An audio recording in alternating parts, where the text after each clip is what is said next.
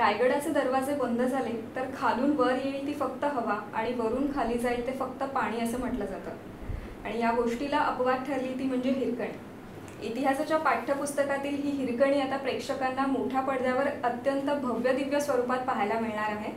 नमस्कार मी स्वाती विमूल लोकसत्ता डिजिटल अड्डामध्ये तुम्हा सर्वांचं स्वागत आणि हिरकणीची टीम आज माझ्यासोबत आहे. अभिनेत्री सोनाली कुलकर्णी या चित्रपटाचे दिग्दर्शक प्रसाद ओक चित्रपटाचे लेखक चिन्मय मांडलेकर आणि अभिनेता अमित खेडेकर. तर आज हिरकणीच्या संपूर्ण टीमशी आज आपण गप्पा मारणार आहोत या चित्रपटाविषयी आणि इतरही बऱ्याच काही गोष्टींबद्दल.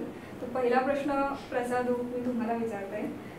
दोन हजार सतरामध्ये कच्चा लिंबू प्रदर्शित झाला. अत्यंत वेगळा चित्रपट वेगळा विषय आणि आता हिरकट पूर्णपणे वेगळा. दोन्ही जॉनर पूर्ण वेगळे. तर दुसरा दिग्दर्शनाचा चित्रपट विषय हिरकणीच का निवडला?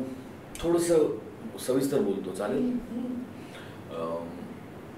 सुरुवातीपासून मी जे काही करत आलो त्यातलं माझं लास्ट प्रोजेक्टच्या पेक्षा माझं नेक्स्ट प्रोजेक्ट लिहिणारं वेगळं कसं असेल हा मी कायम विचार करतो मग मी खूप वाईट नाटकं केली खूप वाईट सिनेमे पण केले. पण जे येतं आहे ते आधी केलेल्या कामापेक्षा वेगळं कसं आहे एवढा मी कन्सिस्टंटली विचार करतो अं, त्यातल्या बऱ्याच प्रोजेक्ट्सचा करता धरता असं नाही म्हणता येणार पण महत्त्वाचा भाग चिन्मय होता मांडलेगाव. जसं वादळवाटच्या लिखाणात पण चिन्मयचा हात आहे वादळवाटमधलं कॅरेक्टर खूप वेगळं होतं. आणि त्याच्यानंतर डायरेक्ट अवघाची संसारसारखी मालिका करणं. त्याचा लेखक पण चिन्मयच होता. हे हे हे वेगळे पण जप कायम जपत आलो मी. कच्चा लिंबू चिन्मयनीच लिहिला. आणि त्याच्यानंतर आम्ही खरं तर शोधात होतो की पुढे काय नवीन पिक्चर कसा असला पाहिजे. कुठल्या जॉनरचा चित्रपट आपण करूया. वेगवेगळ्या स्क्रिप्ट्स येत होत्या त्या मला फार आवडत नव्हत्या. तो शोध संपत नव्हता की नक्की कसा असला पाहिजे दुसरा चित्रपट. कारण नेमकं पहिल्या चित्रपटाला सुदैवाने नॅशनल अवॉर्ड मिळाल्यामुळे दुसऱ्या चित्रपटाकडे लोक डोळे लावून बस बसले होते. की आता हा काय करेल? आता पुढचं काय करेल? त्यामुळे खूप विचार करून आणि जबाबदारीने पाऊल उचलणं गरजेचं होतं. त्यामुळे मी खूप वेळ घेत होतो की नक्की काय करायला हवं मला. माझं ठरत नव्हतं. आणि अशात सोनाली माझ्याकडे एक दिवशी आली. आणि ती म्हणाली की तिला हिरकणी नावाचा एक चित्रपट करायचा आहे तर आणि तो मी डिरेक्ट करावा अशी तिची इच्छा होती. मी तिची इच्छा ॲक्सेप्ट केली. मग मी चिन्मयकडे गेलो आणि मी त्याला म्हटलं की आता दुसरा चित्रपट तू माझ्याकडे लिहावा असं मला वाटतं. मग त्यांनी माझा प्रस्ताव ॲक्सेप्ट केला आणि हिरकणी काढली चिन्मय सरांसाठी प्रश्न आहे की हिरकणी आम्ही इतिहासाच्या पाठ्यपुस्तकात जे वाचलं तेवढंच माहिती आहे. तीन तासांचा अडीच ते तीन तासांचा चित्रपट म्हटलं तर ते त्याच्यामागे पुढे काय? आपण खेचणार कसं तर इतकी मोठी संहिता लिहिली कशी? किंवा तो प्रवास कसा होता? तुमचं बरोबर आहे. म्हणजे मला पहिला प्रश्न हाच पडला होता. पण साधारण एक एक ते दीड पानात हिरकणीची गोष्ट तशी संपते. हां. आणि जेव्हा प्रसाद माझ्याकडे आला. मला अजूनही आठवतंय असं खूप थोडासा तो घाईघाईत आला होता. कारण तेव्हा सिनेमा खूप लवकर फ्लोअरवर जाईल अशी शक्यता निर्माण झाली होती. आणि माझं असं झालं हां ठीक आहे. आपल्याला गोष्टीचं एक बरं आहे ह्या बाबतीत की आपल्याला गोष्टीची बिगिनिंग मिडेल आणि एंड माहिती आहे. त्याचा विचार आपल्याला करायचा नाही की हे जाऊन संपेल कुठे? पण तोच त्याचा तेच त्याचं सगळ्यात मोठं चॅलेंज आहे की ते बिगिनिंग मिडल एंड प्रेक्षकांनाही माहिती. मग त्यांच्यासाठी दोन तासाचा चांगला सिनेमा कुठून आपण कसा करायचा? पण आमच्या चर्चेतून चर्चेतून अनेक गोष्टी निघाल्या आणि आमची कथा ज्यांनी लिहिली प्रताप गंगावणे त्यांचे काही इनपुट्स होते. सो त्याच्यातनं कारण आत्तापर्यंत आपण हिरकणी ही एकटीच होती आणि तिचं बाळ एकटंच होतं एवढंच ऐकलं हिरकणीच्या नवऱ्याबद्दल आपण कधी ऐकलं. बाकी घरात कोण होतं त्याच्याबद्दल कधी ऐकलं मुळात तिचा तो प्रवास ती उतरली एवढंच आपण ऐकलंय पण ते उतरण्याच्या मध्ये काय काय झालं? हे थोडंसं मग आपण असं होतं ना की काय झालं असेल? काय झालं असेल? काय घडलं असेल? त्यामुळे असे प्रश्न एकमेकांना विचारत विचारत हा प्रवास पुढचा आमचा घडला सगळा. आणि तुम्ही जो एक शब्द वापरत की खेच खेचण्याचा संबंध नाही आला. म्हणजे इनफॅक्ट लिहिताना मला नंतर अशी भीती वाटायला फिल्म मोठी होते की काय? कारण त्याच्यात इतके एलिमेंट्स आम्हाला सापडत गेल्या. कारण मुळात आम्ही माझ्यासाठी एका पॉईंट नंतर हिरकणी हे हिस्टॉरिकल कॅरेक्टर म्हणून संपलो होतो. माझ्यासाठी ती आजच्या आजूबाजूला मला दिसणारी एका सामान्य बाईसारखी एक सामान्य स्त्री होती. एक सामान्य स्त्री जी अत्यंत असामान्य सिच्युएशनमध्ये सापडते आणि ती त्या असामान्य सिच्युएशनला ओव्हरकम करते. सो ह्याच्यामध्ये हिरकणी फक्त कडा उतरली एवढंच नाहीये. तिची महाराजांबद्दल असलेली श्रद्धा त्यांच्यावर असलेली जवळजवळ भक्ती त्याच्यानंतर तिचं आपल्या नवऱ्यावर असलेलं प्रेम हे सगळे अँगल्स एक्सप्लोर नव्हते झाले. ते आम्ही एक्सप्लोर केले. त्याच्यामुळे मला असं वाटतं की एक चित्रपट म्हणून तो खूप गमतीदार आहे. त्यात रोमॅन्सही तितकाच महत्त्वाचा आहे. जीवाचा आणि हिरकणीचा. तिचं तिच्या सासूबरोबर असलेलं नातंही तितकंच महत्वाचं आहे. मुलाबरोबरचं तर आहेच. आणि सगळ्यात महत्वाचं तिची महाराजांप्रती असलेली भक्ती ही खूप जास्त महत्वाची आहे. तर माझा पहिला प्रश्न सोनाली तुलाच आहे. की नटरंगामध्ये साकारलेली एक अ, आरसपणे सौंदर्य असलेली अ, नृत्यांगना आणि आता हिरकणीमध्ये असलेली आई. तर ही आईची भूमिका साकारताना तुला काय अनुभव आले? म्हणजे कसा होता एकंदरीत पूर्ण प्रवास? एक मला असं वाटतं की ही सगळी रूपं एका स्त्रीचीच आहेत. ती आरसपाणी सौंदर्य असणारी सौंदर्यवती असली तितकीच ती आई पण असू शकते. तितकीच ती साधारण गृहिणी असू शकते. तितकीच ती आजच्या जगातली स्त्री असू शकते जी नोकरी पण करते कामही करते घरही सांभाळते. ही सगळी रूपं एकाच स्त्रीची असू शकतात आणि असतात. त्यामुळे जरी आपण ते कॅटेगराईज करायला गेलो तरी एका बाईत हे सगळं असू शकतं आणि म्हणून एक स्त्री आपण म्हणतो ती पुरुषांपेक्षा जास्त सक्षम असते. सॉरी माझ्या अवती होती तीन पुरुष म्हणते. कारण ती मल्टीटास्किंग करू शकते तिची अनेक रूपं आहेत. आणि हीच अनेक रूपं मला वेगवेगळ्या चित्रपटातनं वेगवेगळ्या व्यक्तिरेखाच्या मार्फत दाखवण्याची जगण्याची संधी मिळते आहे याहून काहीच भारी असू शकत नाही कलाकार म्हणून. आता टू कंपेअर ह्या दोन्ही व्यक्तिरेखा तर कंपॅरिझन नाही होऊ शकत. काळ खूप वेगळा आहे. व्यक्तिरेखा पूर्णपणे वेगळ्या आहेत. त्याचं सगळंच अवतीभोवतीचं जग वेगळं आहे. त्यामुळे मला असं वाटतं कंपेअर न करता आपण डायरेक्ट हिरकणीवरती बोलूयात. आई म्हणून मी आयुष्यात माझा तो अनुभव नाही आहे माझं लग्न झालेलं नाही आणि अर्थात मी आई नसल्यामुळे चित्रपटात मातृत्वाची भावना निर्माण करणं ते सगळ्यात अवघड होतं माझ्यासाठी. आई होण्यासाठी आई व्हावं लागतं ते तुम्ही प्रिटेंड नाही करू शकत. पण गोष्टच इतकी सक्षम आहे.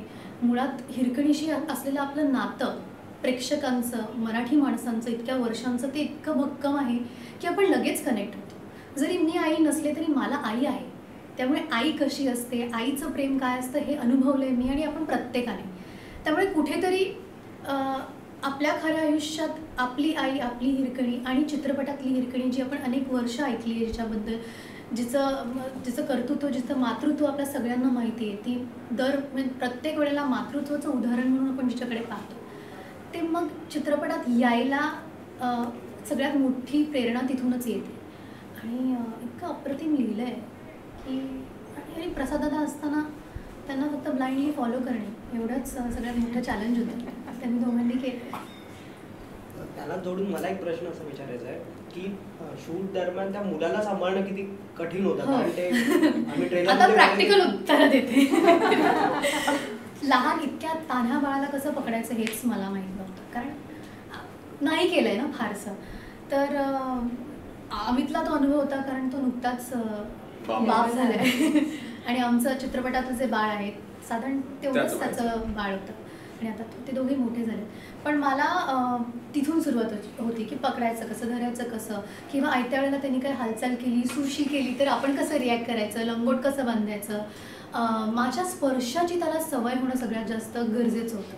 कारण खूप वेळ आम्हाला एकत्र घालवणं अपेक्षित होतं. बरं मला तरी प्रसाद दादा सांगतील की असा अभिनय कर तसं कर. बाळाला नाही सांगू शकत ना आपण. त्यामुळे त्याचं माझ्यावरती असं कॉन्फिडन्स असणं किंवा कम्फर्ट लेवल येणं हे जास्त चॅलेंजिंग होतं. पण त्याचबरोबर ते बाळ इतकं गोड आणि इझी गोईंग असल्यामुळे ते पटकन झालं. मी एक महिनाभर त्याच्याबरोबर वेळ घालवत होते शूटिंग सुरू व्हायच्या आधी. जनरल जस्ट ऑफिसमध्ये बसून मी त्याला घेऊन बसायचे. आहे आम्ही जे काही इतर वर्कशॉप्स करत होतो वाचन किंवा रिहर्सल्स कॉस्ट्युम्स घालून वगैरे वगैरे. त्याचाही तो भाग होता की त्याच्याबरोबर वेळ घालवणे सो दॅट त्याला माझी सवय मला त्याची सवय व्हायला आणि ते झालं. छान त्यांनी शूटिंगमध्ये तर अजिबात त्रास दिलेला नाही आहे रडला नाही आहे इनफॅक्ट ज्या सीनला रडायला पाहिजे तिथे तो रडलाय जिथे सुख करायला पाहिजे केली आहे हो हो हो. हे ठरवून नाही होऊ शकत. म्हणजे चमत्कार आहे. ऍक्च्युली त्यामुळे ते सगळं घडलं. म्हणजे सिनेमाचं एक नशीब आहे पुण्याही आहे. ते सगळं सगळ्या एनर्जीज हो एकत्र आल्यामुळे ते घडत गेला. तो असं त्याला सांभाळायला काय असं वेगळं काही टेक्निक यूज केलं म्हणजे? असं टेक्निक नाही म्हणता त्याला म्हणजे त्याच्यासाठी काही तयारी केलेली का वेगळी अशी? हीच तयारी ना त्याच्याबरोबर वेळ घालवणे आम्ही मी या दोघांनाही रोज ऑफिसमध्ये चित्रपटातले जे कपडे आहेत ते कपडे घालून बसवायचो दिवसभर तुम्ही विचार करा एक कॉर्पोरेट कंपनीचं ऑफिस आहे. क्लायंट्स येत आहेत आणि हे त्याच कपड्यात बसलेत ऑफिसमध्ये मी ते लुगडं नेसून त्याला घेऊन बसले मांडलीवर दिवस दिवस त्याला मी दिवस दिवसभर बोलवायचो ही त्याला मांडीवर घेऊन बसायची झोपवायची तो उठला की त्याला खेळवायची मग त्याची आई असायची बरोबर मग त्याला तहान भूक लागली की मग ती आई त्याला दूध पाजायची मग तो शांत झाला की ही परत त्याला खेळवायची. मग त्याला ते लंगोट बांधायला शिकवलं मग त्यांनी शी केली तर ती कशी पुसायची शू केल्यावर काय करायचं. कारण तो कुठल्या क्षणी तिथे काय रिॲक्ट होईल? त्याच्यामुळे ते नॅचरल वाटत असेल तर तो शॉर्टकट नाही व्हायला पाहिजे. That was the requirement so त्याला त्याला तिची आणि तिला त्याची खूप सवय होणं गरजेचं होतं. पण गंमत अशी आहे की आई होताना एखादी स्त्री जेव्हा आई होते तेव्हा ती प्रॅक्टिस नाही करत. जाऊन प्र प्रशिक्षण घेत नाही आई कसं व्हायचं. बाळ झाल्यानंतर आपल्याला नवीन नवीन गोष्टी कळत जातात आणि मग आपण रिॲक्ट होत जातो. ते तितकं नैसर्गिक पद्धतीने यायला हवं होतं. आणि तसं करत गेलो आम्ही. बाळासोबत एखादा किस्सा किंवा एखादा असा सेटवरचा मजेदार असा लक्षात राहील आठवणीतला इनफॅक्ट बऱ्याचदा काय होतं की एखादा शॉट लागलेला आहे आणि तो सीन करतोय आपण तर सर लाइटिंग करतायत आणि ही चर्चा करतायत. तर बाळ मोस्टली माझ्याचकडे असायचं. त्यामुळे बऱ्याचदा ना आम्ही जनरली खेळत बसायचो मी आणि ते आम्ही तो माझ्या माळेशी कनेक्टेड कनेक्टेड होतो. म्हणजे तुम्ही फोटो बघा सतत त्याच्या हातात माळ आहे. आणि त्याला सतत आहे सतत. एकही फोटो असा. नाहीये. तो सतत खेळत बसायचा त्याच्याशी. आणि त्यामुळे आम्ही खूप अशा गप्पा मारल्यात आमच्या आमच्या. तर हे लोक टिपत बसायचे की ए थांब थांब थांब थांब. ते- तो तो शॉट नंतर घेऊया. कॅमेरा पॅन कर. आणि आयत्या वेळेला काही छान गोड असे मोमेंट्स आणि मॉन्टाजेस मिळाले. सो ते प्लॅन नव्हतं. ते असं मिळत गेलं. अशा खूप मोमेंट्स आहेत. अमितसाठी प्रश्न विचारेन की हिरकणीची भूमिका तर सगळ्यांना ठाऊक. होती. जीवाची भूमिका कोणी ऐकली नाही पाहिली नाही किंवा त्याबद्दल फारशी काही माहिती किंबहुना नाहीच असं म्हणा तर त्या भूमिकेसाठी तयारी कशी केलीस?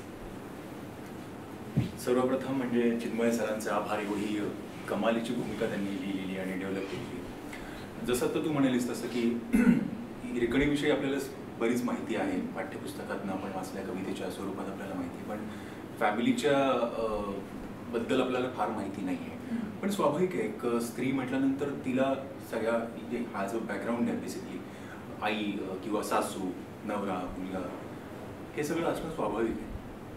तर त्याच मला वाटतं की सर त्याच्या प्रोसेसबद्दल ते चांगल्या पद्धतीने सांगू शकतील. पण मी असं म्हणेन की तू तयारी बद्दल विचारलंस ना. तयारीबद्दल मला असं म्हणायचं की जसं आता सरांनी सांगितलं की ऐतिहासिक भूमिका जेव्हा आपण करतो मला पहिली गोष्ट सांगायची वाटते की प्रत्येक ॲक्टरच्या करिअरमध्ये ऐतिहासिक भूमिका करायला मिळणं हा खरं तर एक खूप मोठा नशिबाचा भाग आहे. मला पर्सनली खूप आवडतात ऐतिहासिक भूमिका किंवा ऐतिहासिक चित्रपट. आणि ती भूमिका किंवा तशी भूमिका करिअरच्या एकदा सुरुवातीच्या टप्प्यावर मिळणं हे खरं तर एक खूप मोठं नशीबच आहे माझं. पण त्याच्यासाठी लागणारी तयारी ही बेसिकली खूप मोठं चॅलेंज होतं आमच्यासमोर. मला तरी पर्सनली मी जेव्हा माझं कास्टिंग झालं तेव्हा मी खूप प्रेशरमध्ये होतं. कारण ऐतिहासिक मी नाटकं वगैरे काही केली होती पण चित्रपटाचा माझा अनुभव हा पहिलाच होता. तर मी जेव्हा त्यांना पहिल्यांदा भेटलो होतो प्रसाद सरांना तेव्हाच ती स्क्रिप्ट जेव्हा समोर आली होती तेव्हापासून जे दडपण माझ्यावर होतं. ते प्रचंड होतं. पण सरांचा अनुभव तगडा आहे त्या सगळ्या विषयाचा. तर त्यांची खूप मदत झाली. वाचनाच्या वाचनाच्या प्रोसेसमध्ये किंवा कॅरेक्टरच्या बॉडी लँग्वेज असतील. किंवा आज आपण जसं वावरतो तसं तीनशे वर्षापूर्वीची माणसं वावरत नसतीलच डेफिनेटली किंवा बोलणंही तर मला असं वाटतं की भाषेवरती काम करणं हे सगळ्यात जास्त महत्त्वाचं होतं. कारण ती कम्प्लिटली वेगळी भाषा आहे. जसं आपण आता मराठीमध्ये बोलतो तशी ती भाषा नाही आहे. मावळ भाषा हां. त्याला म्हणतात. तर ती भाषा बोलणं हे खूप मोठं चॅलेंज होतं. आणि नुसतं कम्युनिकेट करता येईल इतपत बोलणं नाही तर त्याच्यातला एक तो गोडवा आहे. तो डेव्हलप होणं फार महत्त्वाचं असतं. कारण आपण एखादी कुठलीही भाषा शिकतो तेव्हा आपण काही शब्द शिकून किंवा ती. कम्युनिकेट करता येईल. हां तो तो लहजा तो गोडवा तो डेव्हलप व्हायला थोडा वेळ लागतो सराव लागतो वाचन लागतं खूप ते आम्ही खूप दिवस खूप हे वेगवेगळ्या तर पद्धतीने एक्सपर्ट आहेत ना मातंबर आहेत हो. आमच्या दोघांसाठी ही भाषा वाचतानाच आम्हाला काय कसं. कुठे कुठे स्ट्रेसेस द्यायचे काय कसं त्यातला गोडवा शोधायला खूप वेळ लागला आणि प्रसादांना एक वर्षभर आमच्याकडनं फक्त वाचन करून घेत वेगवेगळ्या पद्धतीने आम्ही वाचन केलेलं आहे. जसं आता आपण टेबलवर बसलो या. तसं वाचन केलेलं आहे. सीन जसे ज्या पद्धतीने कोरिओग्राफ केल्या त्यांच्या डोक्यात होतात त्या पद्धतीने आम्ही केलं आहे. ड्रेस घालून म्हणजे जे कॉस्ट्युम्स आहेत आमच्या फिल्ममधले ते घालून आम्ही केलं आहे. असं वेगवेगळ्या पद्धतीने आम्ही जाताना येताना प्रवासात फोनवर मला कित्येकदा आठवतं की मी हो. फोनवर कितीतरी वेळा जे माझे सीन्स मला असं वाटत होते की जे बरोबर मला अजून त्याच्यात कॉन्फिडन्स नाही आहे ते मी कित्येकदा तरी रेकॉर्ड करायचो स्वतः घरी आल्यानंतर वगैरे. आणि मी त्यांना पाठवायचो. त्याच्यावर ते मला सांगायचे नाही नाही हे बरोबर नाही हे बरं आहे. तर हे आणखीन प्रॅक्टिस कर वगैरे. अशा वेगवेगळ्या पद्धतीने आम्ही प्रॅक्टिस केलेली आहे. रिडिंग्स केलेले आहेत. आणि मला वाटतं की त्याचा थोडासा एक आत्ता जो काही जे प्रतिक्रिया लोकांची मिळते. त्याचं सगळं क्रेडिट प्रसाद आहे. आणि ट्रेलर पाहून असं अजिबात वाटत नाही की ती भाषा पूर्ण तुमच्या तोंडी बसली असं त्याचं क्रेडिट या प्रोसेसला आणि या दोघांना जातं त्यांनी ती लिहिली आणि त्यांनी ती आमच्याकडनं बोलवून घेतली. कारण ती अगेन चॅलेंज तोच होता की आता लोकांनी मला इतर सिनेमांमध्ये बोलताना बघितले अचानक काहीतरी वेगळं बोलते आणि ते खोटं वाटतंय.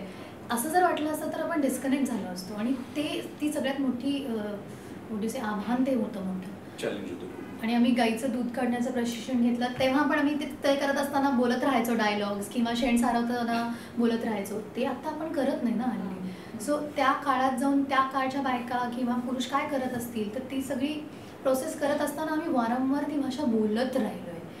म्हणजे असं पोपट पंचीसारखी आम्ही प्रत्येक सीन असा आम्ही कधी सेटवर स्क्रिप्ट बघितलंच नाही नाही. का हो. सगळ्यांचं अख्खं स्क्रिप्ट पाठ झालं होतं. एवढं एवढी वाचन हा. नाटकासारखा म्हणजे इथे या होता. लाईनला मग काय करायचंय? इथपर्यंत सगळं होतं. अर्थात तिथे गेल्यानंतर काही लोकेशन प्रमाणे चेंजेस होतात. ते तिथे ऍडजस्ट करणं थोडं सोपं झालं. पण स्क्रिप्ट घेऊन बसलो आम्ही सेटवर आणि याच्यानंतर काय आपण परत एकदा हो, करू? असं काही वगैरे नव्हतं. असं काही कधीच नाही. मी सोनाली यांना प्रश्न विचारते हिरकणी या भूमिकेसाठी तुम्ही स्वतःमध्ये काही बदल करावा लागला का तुम्हाला? खूप बदल करावे लागले. कारण मी अजिबात तशी नाही आहे माझी प्रतिमा तशी नाही आहे लोकांसमोर मला ती भाषा जसं आपण मगाशी म्हणलो ती बोलता येत नव्हती. मला शुद्ध मराठी बोलता येत नाही नीट. असं आमच्या दिग्दर्शकांचा मुद्दा आहे. पण अर्थात माझं बॅकग्राऊंड असं नाही मी खूप वेगळ्या बॅकग्राऊंडमधनं येते. मी मराठी शिकले नाही आहे शाळेत कधीच. वाचता लिहिता येत नव्हतं मला मराठी. अर्थात देवनागिरी स्क्रिप्ट येते कारण हिंदी शिकली आहे मी. पण लँग्वेज म्हणून मराठीचे संस्कार माझ्यावर झालेच नाही आहेत कधीच. ते या चित्रपटसृष्टीत आल्यानंतर चि चित्रपटसृष्टीने माझ्यावर केले सो एक एक एक एक एक टप्प्याने मी जे काही शिकते ते अशा लोकांबरोबर काम करते म्हणून. त्यामुळे खूप मोठा जो भाग होता तो भाषेवर काम करण्याचा होता. बॉडी लँग्वेज ती जी साडी चोळी आहे ती नेसून कम्फर्टेबली चालता येणं उठणं बसणं चुलीवर भाकरी कशी करायची बाळाबरोबरचं सगळं. मग अशी म्हटलं जसं ती गवळण आहे त्यामुळे गाईचं दूध काढता आलं पाहिजे नॅचरली बरं ते तेवढ्यापुरतं नाही. ही बाई रोज हे करते. तो सराव सीनमध्ये दिसला पाहिजे. आणि सगळ्यात मोठं चॅलेंज माझ्यासाठी होतं अनलर्निंग जे काही मला थोडंफार कळतं येतं जे काही माझं जग आहे because of whatever means माझं जे वय आहे किंवा आत्ता आपण आस आसपास इतक्या गोष्टी पाहतो कम्युनिकेशन ह्या त्या we are aware of so many things त्या काळात त्या बाईचं इतकं मोठं जगच नव्हतं. तिला तिचं चूल मूल नवरा संसार ग- महाराज ह्याच्या पलीकडे जगच नसताना ती किती निरागस असेल? ती निरागसता माझ्यात आत्ता आणणं सगळ्यात मोठं चॅलेंज होतं. त्याच्यासाठी आपण शिकणं सोपं असतं पण जे येतं किंवा अनलर्न करणं जास्त अवघड असतं. So I think that was the biggest challenge for me as an actor नाही, नाही. त्यांच्या प्रश्नाला तुम्ही पाच इथे सुंदर मुली बसल्यात तेव्हा मला सांगायला खूप आवडेल की या एका ग्लॅम गर्ल म्हणतो हिला आपण. तिने वर्षभर फेशियल केलेलं नाही. थ्रेडिंग केलं नाहीये. वॅक्सिंग केलं नाहीये मेनिक्युअर पेडिक्युअर केलं नाही म्हणजे एका नाही. म्हणजे मी तिला असं सांगितलं होतं की मला जेव्हा कधी तू मी तुझ्या हाताचा क्लोज लावीन पायाचा क्लोज कडा उतरताना कुठलाही क्लोज लागू शकतो पटकन. सो तिथे जर तुझे क्लीन मेनिक्युअर केलेली नखविका असतील तर मला ते चालणार नाही. त्यात ती घाण गेलेली पाहिजे ती वाढलेली पाहिजे दोबड दोबड हातापायांची नख गोया ऑड वाढल्या पाहिजेत. तेव्हा काही थ्रेडिंग बिडिंग नव्हतं ना काहीच नव्हतं. सो तो ती ऑथेंटिसिटी जपण्यासाठी ती या वर्षभर या सगळ्या सौंदर्य प्रसारांचा त्याग केला आणि ही मला असं वाटतं मोठी गोष्ट आहे नाही खूप मोठी गोष्ट आहे. आणि नाक टोचणं. हो हे हा, हे. नाक टोचणं was सगळ्यात जास्त त्रासदायक कारण खूप त्रास झाला होता मला. महिन्याभरात नाक टोचल्यानंतर लगेच ती चांदीची तार घालायची होती. ती इतकी जाड ती जात नव्हती. मग फोडी झाली मग पस मग रक्त बंबाळ असं सगळा एक किस्सा व्हायचा रोज सेटवर मुळात एक अजून एक मला सांगायचं वाटलं त्याने मला जर सांगितलं होतं हिरकणीवर सिनेमा करायचा माझा पहिला प्रश्न होता हिरकणी ऑब्विसली ना. म्हणजे उद्या शहनशाह नावाचा सिनेमा आहे. कोण आहे शहनशाह? अमिताभ बच्चन. तर जेव्हा मला सोनालीचं नाव कळलं तेव्हा मी एक सेकंद माझं असं झालं की अरे वा कमाल आहे. कारण आपण तिला आतापर्यंत खूप वेगवेगळ्या भूमिकांमध्ये बघितलंय पण तिची जी एक इमेज आहे जी आता ती म्हणाली she is a very good dancer या सिनेमात मला नाही वाटत तिने कुठेच एक स्टेप आहे? स्टेप म्हणून मी त्याच्यावर नाचलोय. जी साधारण आम्ही पण करू शकतो अशी स्टेप त्यामुळे त्याच्यात त्याचं काही नाही. पण आपल्याला जे येतं जे आपला हातखंड आहे तो अजिबात न वापरता एका कम्प्लिटली वेगळ्या चॅलेंजला सामोरं जाणं. हे एक ऍक्टरसाठी फार सोपं नसतं. म्हणजे आता इथे बसलेले चारही लोक ऍक्टर आहेत. हे इतकं सोपं नसतं. And when you are the centre of that film पण ते तिने केलं याच्यासाठी तिला म्हणजे मी शंभरापैकी तीनशे मार्क हे खरंच ग्रेट गोष्ट आहे. प्रश्न थोडासा वेगळा विचारला सोडून. हां. तू मगाशी म्हणालीस की मराठीचा सहवास तसा कमी होता तुझा. आणि मग तरी तू मराठी चित्रपट सृष्टीकडे आलीस. तर कशी काय वळलीस? नशीब. चांगलं. चांगल्या अर्थाने. मी ॲक्च्युली ॲक्ट्रेस व्हायचं ठरवलं होतं. म्हणजे मला लहानपणापासून माझं ठरलं होतं की मी ॲक्ट्रेस होणार हिरोईन व्हायचं आहे मला. पण माझ्या आसपास बॅकग्राऊंडमध्ये असं कोणीच नाही आहे माझ्या अवतीभोवती नाही माझ्या फॅमिली बॅकग्राऊंडमधनं कोणी कलाकार मंडळी नाही सगळे गव्हर्नमेंट सर्व्हिसेसमध्ये काम करणारी लोक आहेत. त्यामुळे व्हायचं तर आहे पण कसं काय कुठे काहीच माहीत नव्हतं. सो मी जनरली जेव्हा ऑडिशन्स देत होते कॉलेजमध्ये असताना पुण्यात तेव्हा एकदा मराठी मालिकेच्या ऑडिशनला गेले. तेव्हा लहानपणी मी मराठी चित्रपट पाहिले कुठले तर पिंजरा माहेरची साडी वगैरे अशी बनवा अशी फार माझा तसा अभ्यासही नव्हता. मी एका मालिकेच्या ऑडिशनला गेले कारण की त्यांना डान्स करणारी मुलगी हवी होती. तर म्हणलं बघूया अगदी मर मराठी ग्रीक नाही आहे माझ्यासाठी. म्हणजे आजी आजोबा बोलतात मला तर बोलता येतं असं अजिबात वाईट बोलता येतं असं नाही म्हणायचं मला. म्हणजे ओळख चांगली आहे. हा हा हा. मला पाणी हवंय चहा कॉफी एवढं तेव्हा बोलू शकत होते असं अजिबात ग्रीक असल्यासारखं नव्हतं. पण त्या माध्यमातनं काम करण्यासाठीचा अभ्यास माझा नव्हता. तर मी त्या मालिकेच्या ऑडिशनला गेले आणि मला खात्री होती की मला काय इथे सिलेक्ट होणार नाही पण आपल्याला ऑडिशन्समधनं शिकायला मिळतं म्हणून मी ऑडिशन्स देत होते. तर झालं माझं सिलेक्शन आणि मुळात ते तयार होते की ठीक आहे तू जर मेहनत करायला तयार असशील तर आपण तुला हवी ती मदत करू. आणि मग अशा पद्धतीने मी हा खेळ. संचिताचा मालिकेत काम केलं. पहिल्याच कामात मला माझे को ॲक्टर विक्रम गोखले होते. सो ते रोज म्हणजे मी कॉलेज करून शूटिंगला जायचं. सो तीन वाजता मी माझी चला शूटिंगला जाऊया. तर विक्रम काका सेटवर मराठीचे आणि अभिनयाचे धडे घ्यायचे की आहे वाच आता चल आणि मग काय उच्चार वगैरे वगैरे पंक्च्युएशन वगैरे ते शिकवायचे. सो अशी सुरुवात झाली.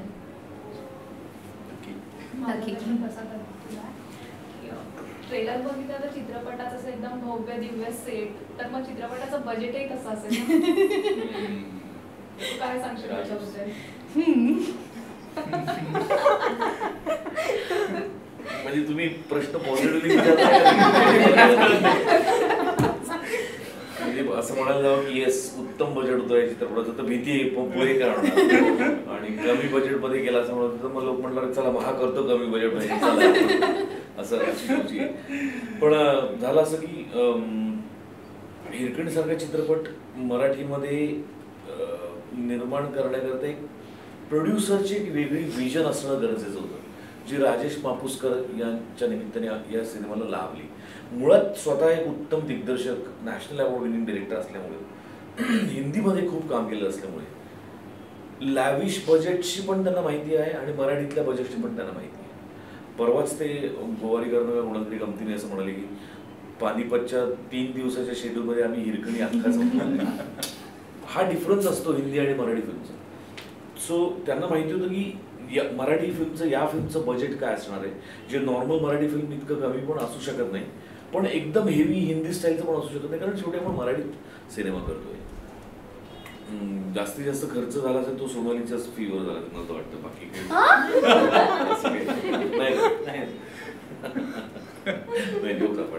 पण अं, ती सगळी कॅल्क्युलेशन जेव्हा ऑन पेपर आणि प्रत्यक्षात जेव्हा ताळमेळ साधला गेला तेव्हाच त्यांच्याकडनं ग्रीन सिग्नल आला आणि सिनेमा फ्लोअरवर गेला. पण आज तुम्ही ट्रेलर बघितल्यानंतर जेव्हा सिनेमा पण बघाल त्याच्यानंतर मी जेव्हा तुम्हाला सांगेन की हा सिनेमा मी बत्तीस दिवसामध्ये कंप्लीट केलाय. तेव्हा तुमचा विश्वास बसेल की नाही? त्याच्यानंतर आपण. त्या बत्तीस दिवसांच्या मागची मेहनत किती होती? पावणे तीन वर्षांची. मला मला ती सवयच आहे एकंदरीत. दोन हजार चौदा साली कच्चा लिंबू सुरू झाला प्रोसेस आणि होता होता होता होता तीन प्रोड्युसर्स बॅकआउट झाले आणि दोन हजार सोळामध्ये बंदार उभा राहिला आणि सतरामध्ये सिनेमा रिलीज झाला. दोन हजार सोळाच्या एंडला डिसेंबर. हिरकणी. डिसेंबर. हा. दोन हजार सोळा डिसेंबरला हिरकणीची प्रोसेस चालू झाली होती. ऑक्टोबर. हा हा, हा म्हणजे आणि कारण माझ्याकडे प्रसाद असा आला होता हिरकणीवर सिनेमा करायचा बरं. सव्वीस जानेवारीला मी फ्लोअरवर जातो म्हटलं काय वेडा आहेस का तू? तेव्हा हार्डली तीन आठवडे वगैरे होतो. मला सव्वीस जानेवारी ही तारीख मला आठवते. करेक्ट करेक्ट पहिलं सगळं तेच होतं ना. तर मला असं वाटलं की अरे पहिला सिनेमाला नॅशनल अवॉर्ड मिळाला आता लोक लोकांना माझं कौतुक वाढेल वगैरे. असं काय नाही. सगळे भ्रम असतात. पहिल्या पिक्चरला तीन प्रोड्युसर बॅकआउट झाले हिरकणीला पाच प्रोड्युसर बॅकआउट झाले. राजेश मापुसकर हे सहावे प्रोड्युसर आहेत जे फायनल झाले ते. सो ऑक्टोबर दोन हजार सोळाला सुरू झालेली प्रोसेस फायनली ऑक्टोबर दोन हजार एकोणीसला रिलीज होऊन संपते. तीन वर्षाचा प्रवास आहे मोठा. पण मुळात चिन्मय काय किंवा राजेश मापुसकर काय ही ही माणसं प्रचंड पॉझिटिव्ह दृष्टीने आयुष्याकडे बघणारी आहेत. आणि मी खूप असा पॅनिक होणारा चिडचिड करणारा आरडाओरडा कर- करणारा अशा स्वभावाचा माणूस आहे. पण हा ज्या पद्धतीने वावरतो जगात किंवा काम करतो किंवा राजेश मापुसकर ज्या पद्धतीने काम करतात यांच्यामुळे जरी दोन दोन तीन तीन वर्ष लागली असली तरी त्या प्रोजेक्टचं भलं झालं आहे फायनली जे ह्याचंही होईल अशी आशा वाटतं. तुम्ही दिग्दर्शित केलेला जो कच्चा लिंबू आहे त्याला राष्ट्रीय पुरस्कार मिळाला. तुम्ही रिसेंटली जे ट्विट केलं तर त्यासंबंधी काही सांगाल का? तुम्ही रिसेंटली ट्विट केले की जे झालं त्याचा मी निश्चित करतो. तर काय झालं काय झालेलं त्या त्यावेळेला? ते सगळं नाही का राष्ट्रपती देणार होते पुरस्कार मग ते ऐन वेळेला त्यांनी दिला नाही. मग काही लोकांना स्मृती इराणींच्या हस्ते पुरस्कार स्वीकारायला लागला. मग काही लोकांना तो अपमान वाटला. मग तो घ्यायचं नाही असं खूप झालं होतं त्याच्यावर. Okay okay. त्या संदर्भातलं आहे ते ते तुम्ही आत्ता वाचलं? ते पिन ते पिंडप दिसतं ना ते पहिलं. दिसतं तुमच्या अकाउंट ते काढलं पाहिजे. पिन काढली. आता कळलं की काढलं पाहिजे. प्रसाद दादाला प्रश्न आहे. गमतीचा आहे प्रश्न. कच्चा लिंबू मध्ये त्या सोनाली या चित्रपटात या सोनाली त्याच्या आधी हाय काय नाही काय जो म्हणजे त्यांचा पहिला आता पुढच्या चित्रपटात कुठल्या सोनाली अजून एक राहिलं. कच्चा लिंबूमध्ये सचिन खेडेकर हा. हिरकणीमध्ये अमित खेडेकर पण दोन्हीकडे चिन्मय मांडलेकर पण कॉमन आहे. असं काही नाही. म्हणजे तिच्याबरोबर ती माझी खूप जुनी मैत्रीण आहे. आणि पुण्यात आम्ही एक्सपेरिमेंटल थिएटर करायचो तेव्हापासूनची आमची मैत्री आणि she is a fantastic actress मी काय वेगळं सांगायची गरज नाही. कच्चा लिंबू तिच्याशिवाय होऊ शकला नसता. म्हणजे तिच्या खिरीज मला कोणी दिसत नव्हतं. तसं आज मी अभिमानाने सांगू शकतो की सोनालीशिवाय हिरकणी होऊ शकला नसता. रादर तो तिला सुचला ती माझ्याकडे घेऊन आली हा सगळा भाग वेगळा.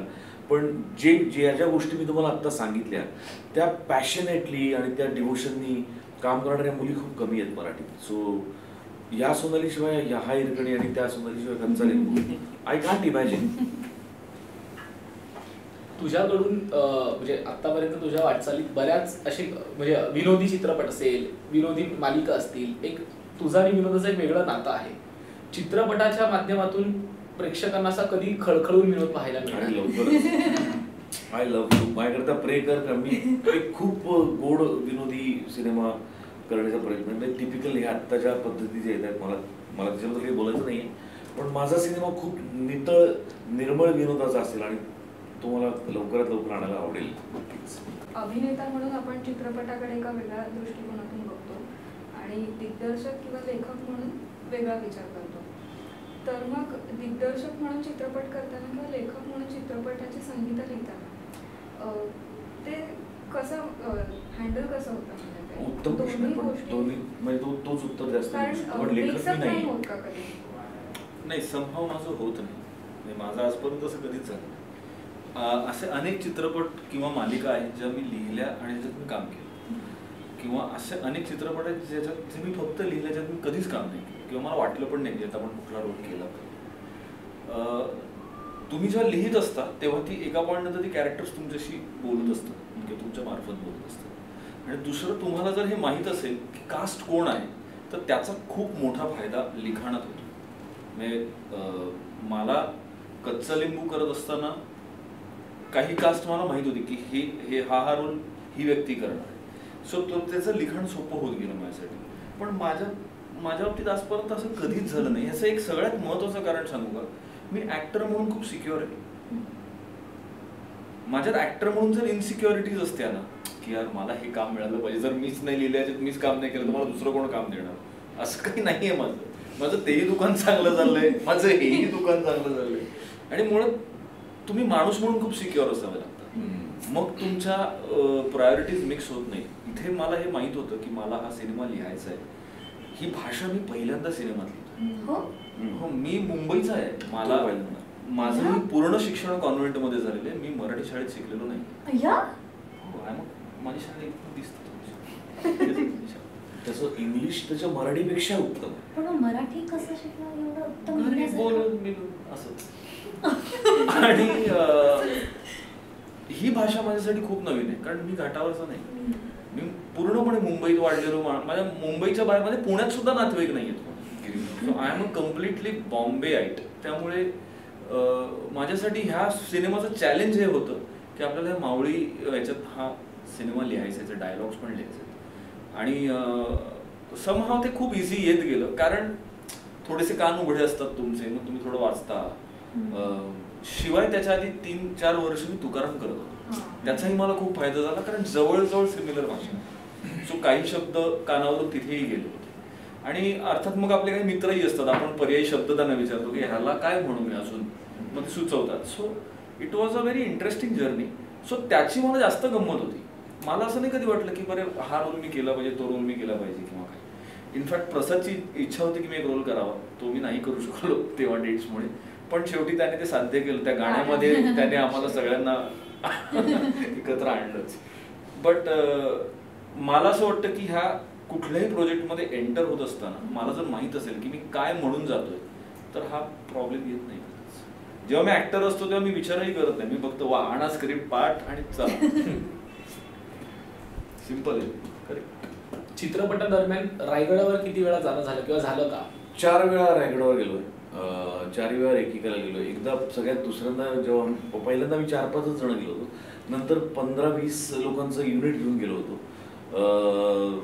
स्वतः सोनाली आमच्या बरोबर होती आणि पावसाळा होता. आणि पावसाळ्यात आम्ही हिरकणी बुरुजापर्यंत उतरून हिरकणी बुरुज पाहून आलो आहे जेणेकरून मला याला कम्युनिकेट करायचं होतं की तो बुरुज कारण हा पण येणार होता देशपांडे हा इतका व्यस्त असतो. मालिका लिहितो मालिकेत काम करतो नाटक डिरेक्ट करतो होतो, नाटक होतो, लिहितो. चित्रपट लिहितो चित्रपटात काम करतो. आता तो कवी पण झालाय. असं तो त्याचं काम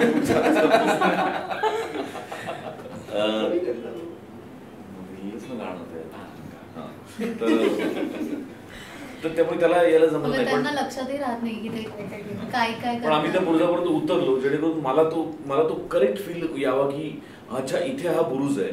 म्हणजे मेन रायगडाच्या सदर दरवाजा किंवा महादरवाजा जिथे ती अडकली आहे तिथनं वर यायला किती वेळ लागतोय?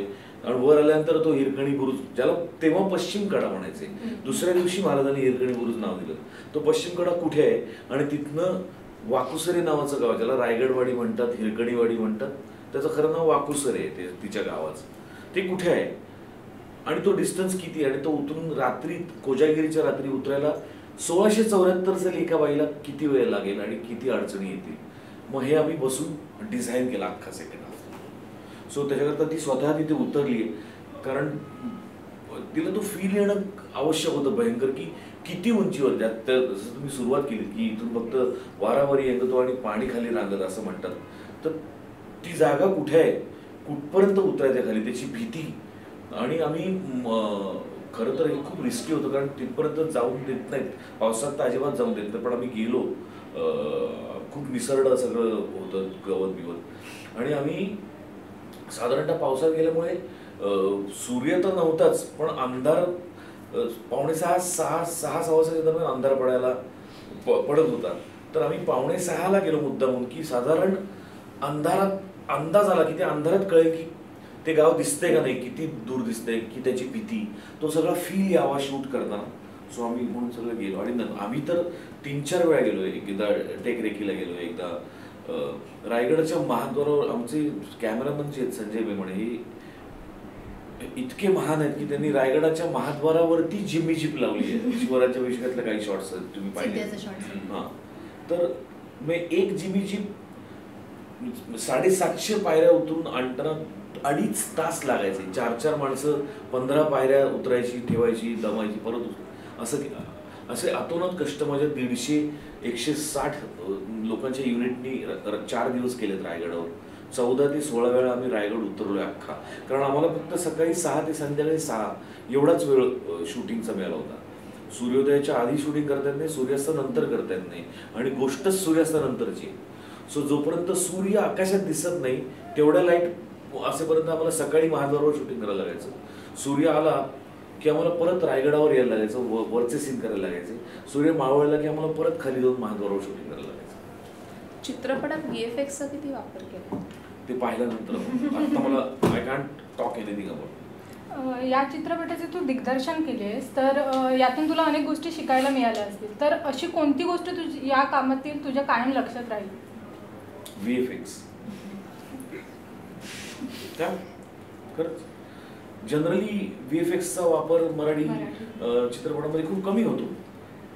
या चित्रपटामध्ये तो उत्तम प्रमाणात आहे. जास्ती प्रमाणात आहे का कमी प्रमाणात आहे मी सांगू नाही शकत.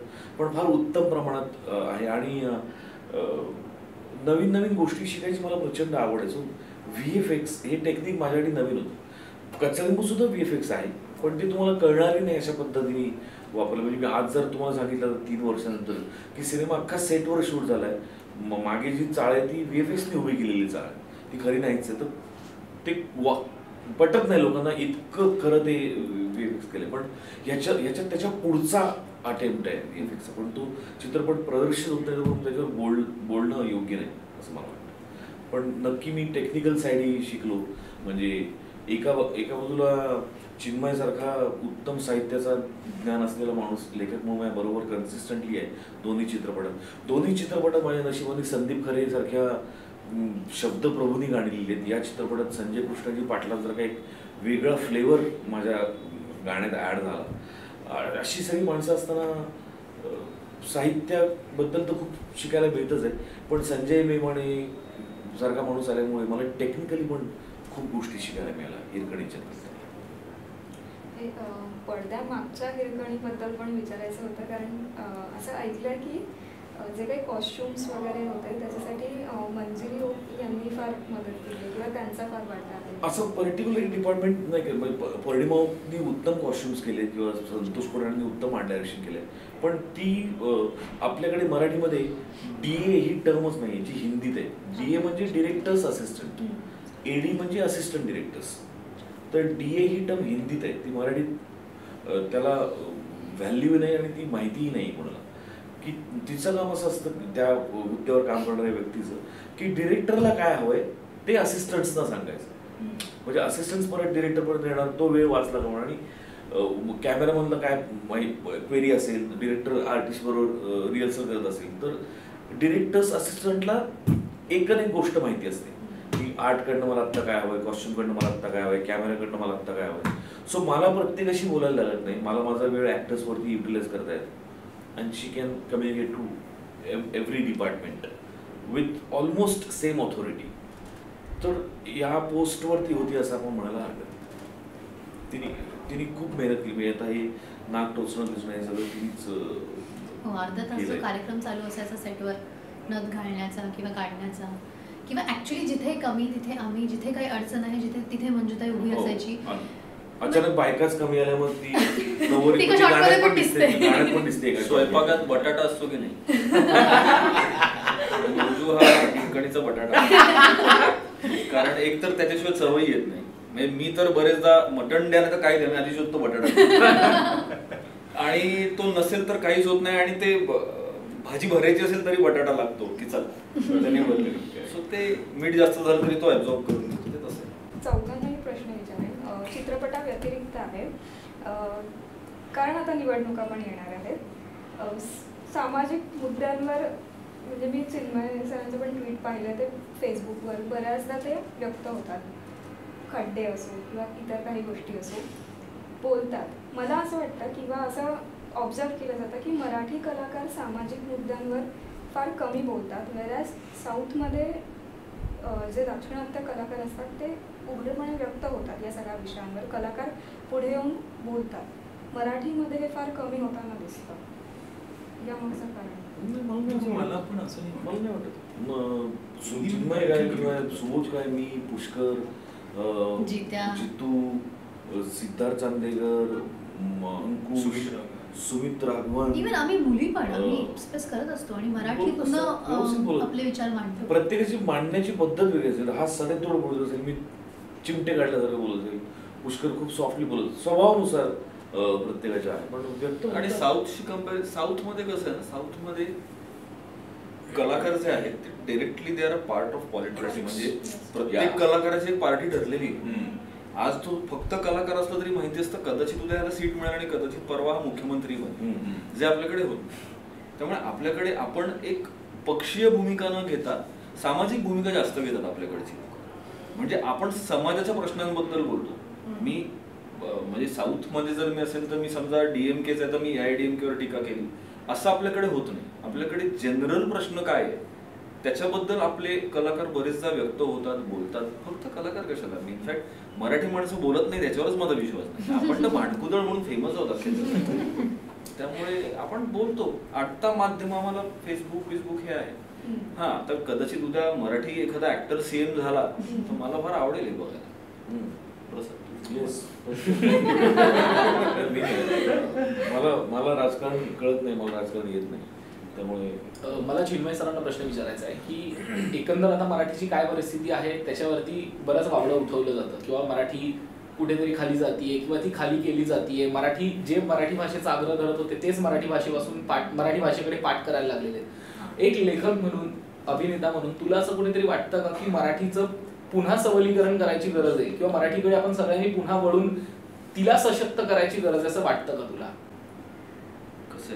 तुमच्या घरात जर तुमची आई असेल तर आपण तिच्या बाबतीत सबलीकरण वगैरे हे शब्द नाही वापरत. आपण ते नॅचरली आलं पाहिजे आपल्याला. आता तुला मी एक साधं उदाहरण सांगतो. माझी मुलगी जेव्हा तिला मी शाळेत घातलं इंग्रजी माध्यमाच्या शाळेत घातलं. तिसऱ्या दिवशी मला शाळेत बोलवण्यात आलं आणि मला असं सांगण्यात आलं की तिला इंग्लिश बोलता येत नाही. तुम्ही घर घरी तिच्याशी इंग्लिशमध्ये बोला. त्याच्यावर मी त्यांना असं सांगितलं की तिला इंग्लिश यावं म्हणून तुमच्या शाळेत घातलंय. मी घरी इंग्लिशमध्ये नाही बोलणार. घरी मी मराठीतच बोलणार. प्रॉब्लेम आपला काय होतो? सी राजकीय पक्षांनी काय करायचं आणि काय नाही करायचं हे खूप त्यांच्यावर सोडून देतो आपण. ते जाऊ ते महत्वाचं नाही. आपण सामान्य माणसं म्हणतो जर मी माझ्या मुलाला सांग सांग बोलनात किंवा ही चार गाणी दहा गाणी शिकवत असेल किंवा मी त्याच्याशी घरी मराठीतून बोलत असेल ना तर हा मुद्दाच येणार नाही कधी सबलीकरणाचा. आपला प्रॉब्लेम काय झालाय? आमची जी एक जनरेशन मधली एक जनरेशन आहे ना आम्हीच आमच्या मुलांची मराठीत बोलायचं सोडून दिलंय. मुलांची सोड आम्ही आपापसात मराठीत बोलायचं सोडून दिलं तू गुजराती माणूस बघ तो कुठेही जगाच्या पाठीवर भेटला आणि त्याला जर कळलं हा गुजराती आहे ते गुजरातीत सुरू होतात. सेम बंगाली लोकांचं आहे सेम मंडाळी लोकांचं आहे. आणि मी जेव्हा दिल्लीमध्ये राहत होतो तीन वर्ष तेव्हा तर मी हे इतकं प्रकर्षाने पाहिलेलं आहे. आपण त्याला लॉबिंग म्हणतो पण हे लॉबिंग नाही हे नॅचरल आहे ना. म्हणजे वळचणीचं पाणी वळचणीला जातं. मराठी लोकांचा प्रॉब्लेम हा झाला की आपल्याला मराठीत बोलणं हे आपल्याला कमीपणाचं समभाव वाटायला लागलंय. बरेचदा आज कोणीतरी मी काल याच्यावर माझं हे शेअर केलं. हिरकणीला वन मिलियन न्यूज क्रॉस केली त्याचं. त्याच्यावर कोणीतरी लिहिलं की मी काही मराठी सिनेमांचा फॅन नव्हतो पण आता हे बघून मला असं वाटतंय अरे फॅन नव्हताच मग तू काय उपकार करतोस ना म्हणजे नंतर त्याने सांगलेली चांगली गोष्ट आहे. पण तुम्ही मरा- महाराष्ट्रात राहून मराठी सिनेमांचा मी फॅन नव्हतो वगैरे बरं नव्वदच्या दशकात असं बोलायचा आम्हाला हक्क होता कारण तेव्हा बरेच सिनेमेच बनत नव्हते. मोजून वर्षाला आठ सिनेमे बनायचे त्यातलं एखादा पिळगावकरांचा वगैरे असेल तो आमच्याबरोबर पोहोचायचा किंवा कोठाऱ्याचा आता गेली साधारण दोन हजार तीन पासून इतके उत्तम उत्तम सिनेमे दरवर्षी बनतात. इतकं साहित्य आहे. आपणच मला असं वाटतं दुर्लक्ष करतो राजकीय पक्ष सोड. मला ते त्यांच्या त्यांच्या हिशोबाने भूमिका बदलत राहतात. त्यामुळे ते काय कधी ते हिंदुत्व असतं कधी मराठी असतं कधी काही वेगळंच असतं. ते आपण सोडून देऊया. पण आपण मला असं वाटतं आपल्या लेवलला ते जपलं पाहिजे. आपण आपल्या घरी आपल्या लोकांशी आपापसात मराठीत बोललं पाहिजे. सगळं होईल व्यवस्थित काही आता हिरकणी नंतर पुढे?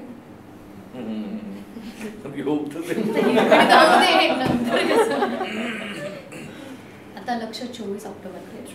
नाही पण तू सांगितलंच ना की एक संपायच्या तुझा पुढचा विचार असतोच ना. हो विचार चालू आहे. तो अजून व्यक्त करायची वेळ नाही. चित्रपट चित्रपट चित्रपट. चित्रपट करीनच त्याच्या आधी नाटक करीन डिरेक्ट ते येईल आता डिसेंबर. नमस्कार. चोवीस ऑक्टोबरला येत्या दिवाळीत हिरकणी नावाचा हा चित्रपट तुमच्यासमोर घेऊन येतो. संपूर्ण महाराष्ट्रात प्रदर्शित होतोय. तर यंदाची दिवाळी ऐतिहासिक आणि मराठमोळी साजरी करूया. तर वेळात वेळ काढल्याबद्दल आणि आम्हा सर्वांशी गप्पा मारल्याबद्दल हिरकणीच्या संपूर्ण टीमचे मनपूर्वक आभार. आणि लोकसत्ता डॉट कॉम या साईटला नक्की भेट द्या आणि फक्त मनोरंजन विश्वातील बातम्या वाचण्यासाठी एल एस मनोरंजन या फेसबुक पेजला नक्की भेट द्या.